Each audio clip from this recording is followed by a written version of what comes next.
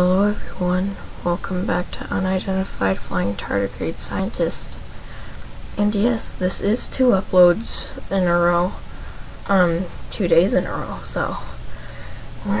I'm feeling pretty good about myself, still on summer break.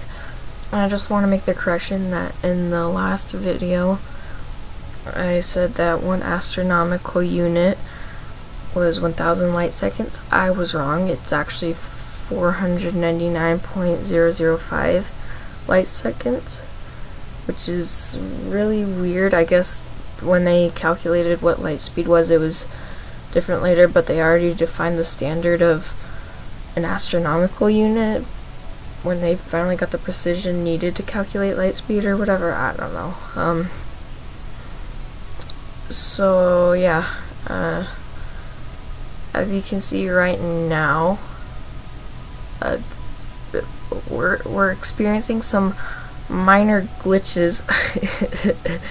is a procedural planet I just found.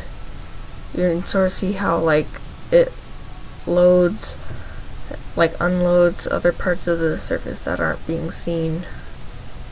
Clever little developer tricks. Um, uh, so I wanna today I want to go through a um, wormhole so we can make this a wormhole by changing it to a star and then just oh wait we can say none and when we want to change its spectrum uh, yeah I think X is a black hole uh, well, something happened. uh, this is weird. Well, uh, let's reduce that. No, that doesn't work. Okay. Oh, oh wait. Oh yeah, X is a black hole. Uh, so this would be a black hole. But today we want to go through a wormhole, so yeah, we're going to set it to Oh, Z. Z, oh my gosh. I don't know what P is. But that, I don't know. Planemo? The X. No. Oh, I'm so stupid.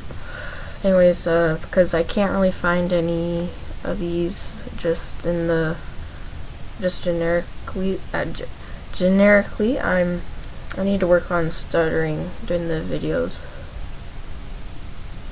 It's only affected, the only radius is affected. So, as you can see, as we look around, it bends the light around it as well as reflects it. You can see sort of to the other side. I think this is a wormhole. Well, we're about to find out as we go through it. I'll slow us down. So as you can see, we're getting closer and closer. Now we should be hitting the surface.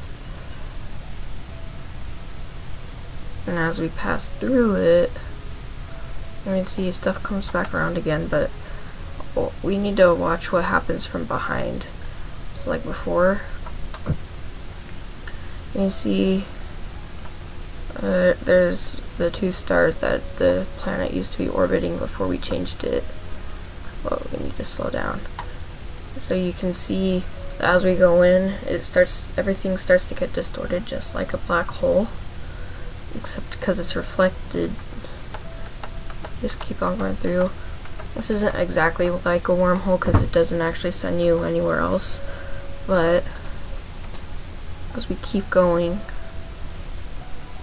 you remember how this part got blurrier and blurrier? Well, the other part just gets stretched and stretched. And we're still traveling at the same speed, but it seems like we're going away further and further, faster and faster. And then the background is the one that's zoomed in. Uh, actually, I think we're inside it right now.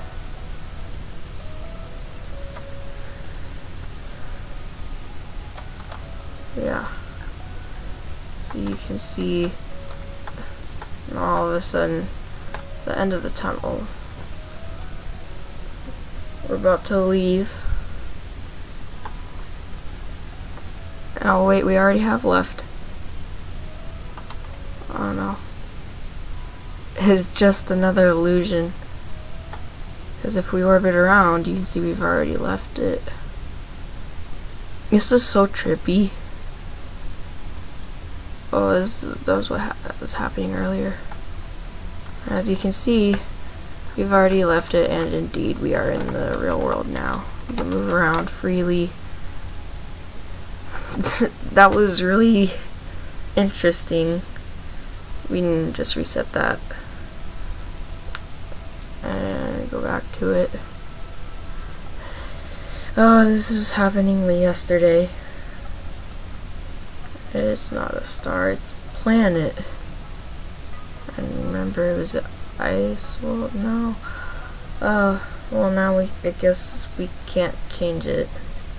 I mean it does reset after I close space engine, so. uh, that's going to be it for today's video, not as short as uh, yesterday's, but um, that's what I felt comfortable making, so, um, wait, I gotta do my outro. Yeah. okay, I'm gonna fix that later. Uh, unidentified flying tardigrade scientist out. Bye.